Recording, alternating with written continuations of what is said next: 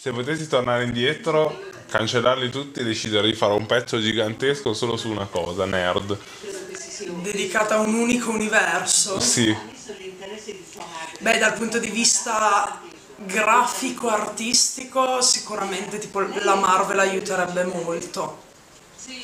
Però credo dividerei il mio corpo, farei una sorta di full body giapponese diviso a metà fra Star Wars e Harry Potter.